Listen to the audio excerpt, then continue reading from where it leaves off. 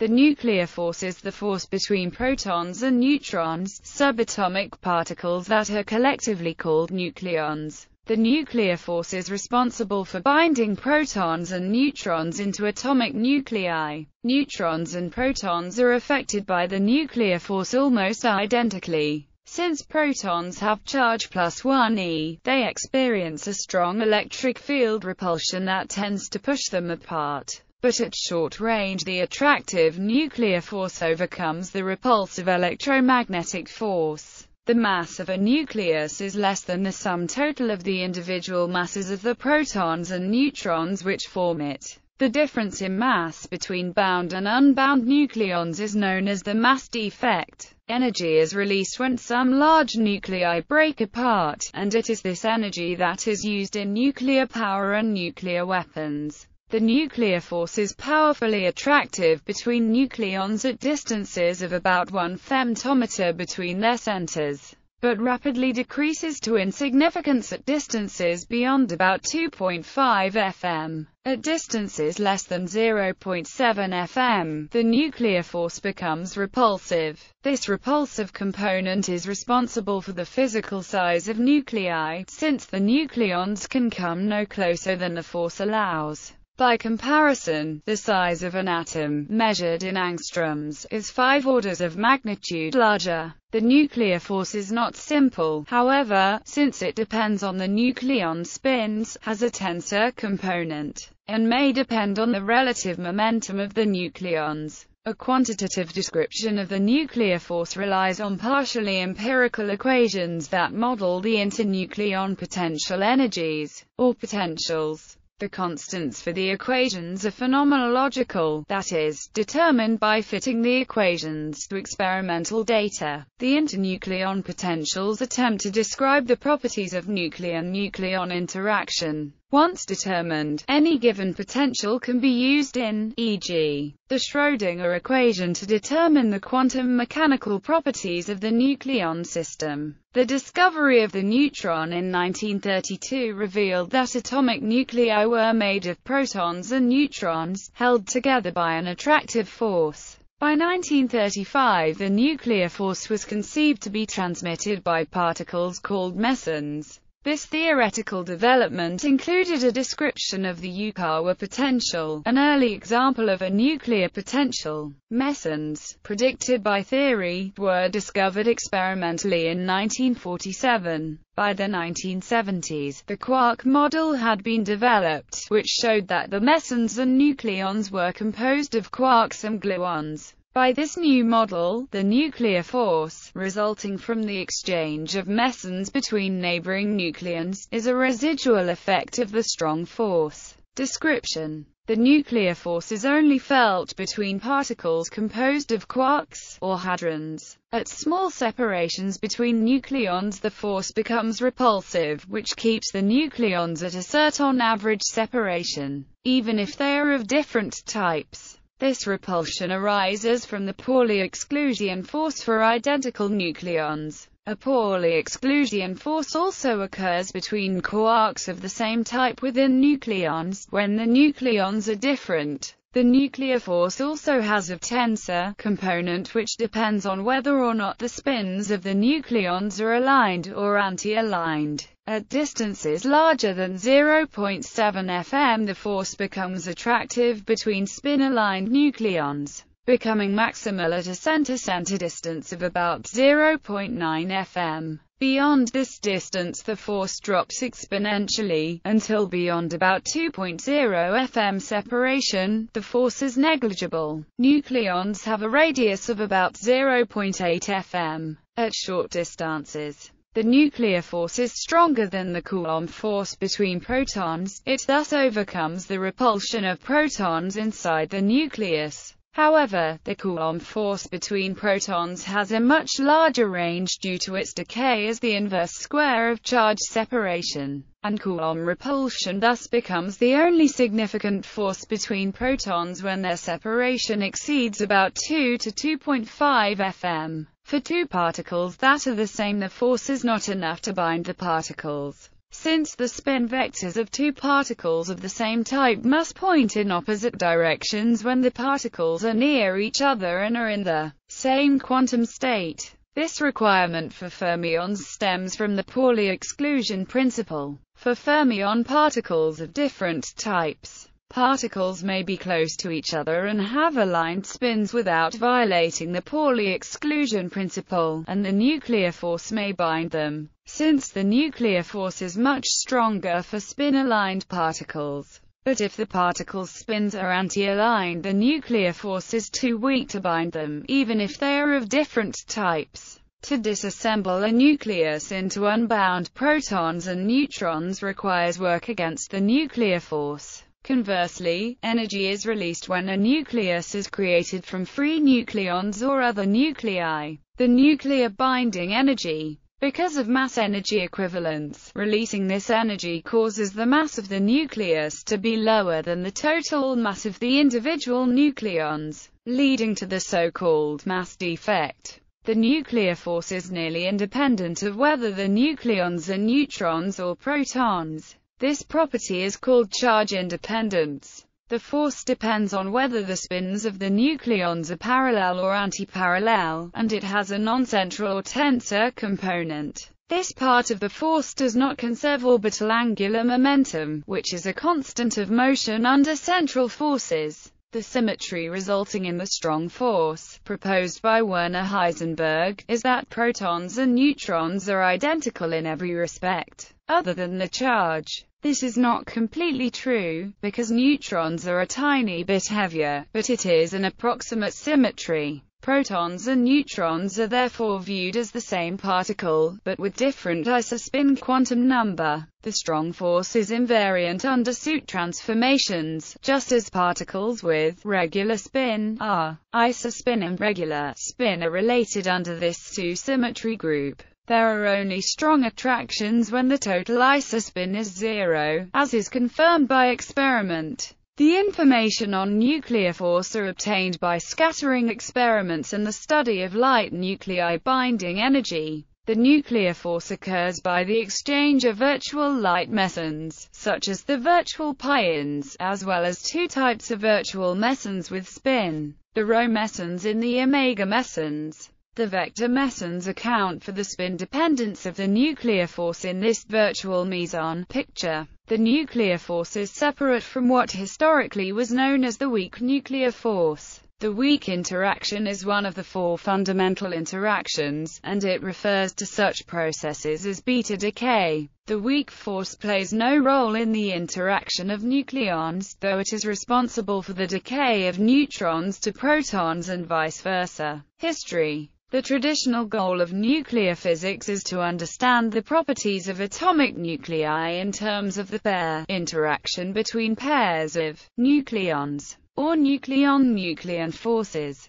Within months after the discovery of the neutron, Werner Heisenberg and Dmitry Ivanenko had proposed proton-neutron models for the nucleus. Heisenberg approached the description of protons and neutrons in the nucleus through quantum mechanics an approach that was not at all obvious at the time. Heisenberg's theory for protons and neutrons in the nucleus was a major step toward understanding the nucleus as a quantum mechanical system. Heisenberg introduced the first theory of nuclear exchange forces that bind the nucleons. He considered protons and neutrons to be different quantum states of the same particle, i.e., nucleons distinguished by the value of their nuclear isospin quantum numbers. One of the earliest models for the nucleus was the liquid drop model developed in the 1930s. One property of nuclei is that the average binding energy per nucleon is approximately the same for all stable nuclei, which is similar to a liquid drop.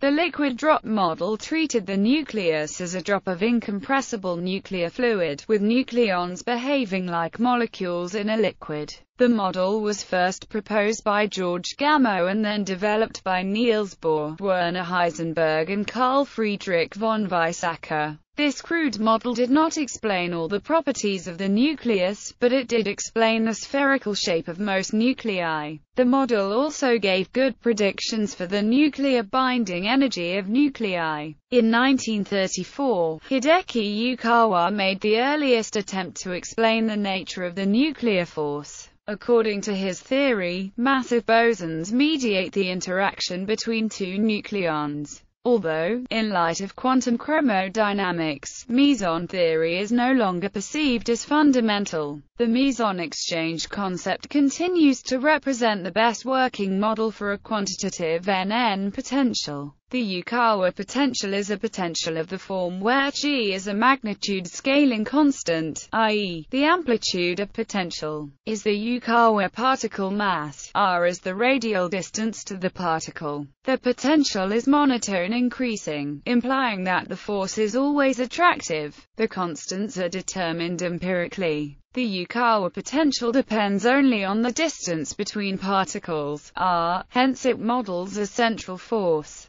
Throughout the 1930s a group at Columbia University led by I. I. Rabi developed magnetic resonance techniques to determine the magnetic moments of nuclei. These measurements led to the discovery in 1939 that the deuteron also possessed an electric quadrupole moment. This electrical property of the deuteron had been interfering with the measurements by the Rabi group. The deuteron, composed of a proton and a neutron, is one of the simplest nuclear systems. The discovery meant that the physical shape of the deuteron was not symmetric, which provided valuable insight into the nature of the nuclear force binding nucleons. In particular, the results showed that the nuclear force was not a central force, but had a tensor character. Historically, the task of describing the nuclear force phenomenologically was formidable. The first semi-empirical quantitative models came in the mid-1950s, such as the Woods-Saxon potential.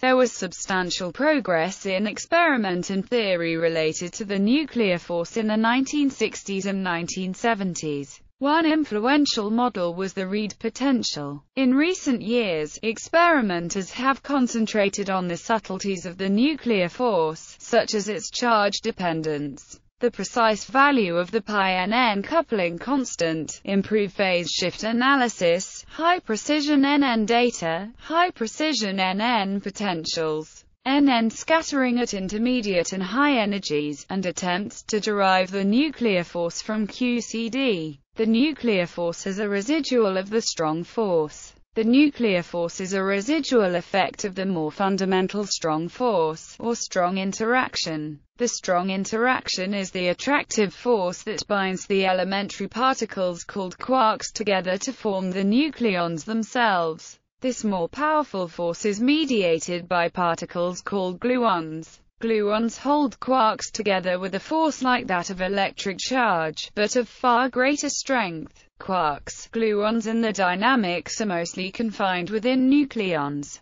but residual influences extend slightly beyond nucleon boundaries to give rise to the nuclear force. The nuclear forces arising between nucleons are analogous to the forces in chemistry between neutral atoms or molecules called London forces. Such forces between atoms are much weaker than the attractive electrical forces that hold the atoms themselves together, and their range between atoms is shorter, because they arise from small separation of charges inside the neutral atom. Similarly, even though nucleons are made of quarks in combinations which cancel most gluon forces, some combinations of quarks and gluons nevertheless leak away from nucleons in the form of short-range nuclear force fields that extend from one nucleon to another nearby nucleon. These nuclear forces are very weak, compared to direct gluon forces inside nucleons, and the nuclear forces extend only over a few nuclear diameters, falling exponentially with distance. Nevertheless, they are strong enough to bind neutrons and protons over short distances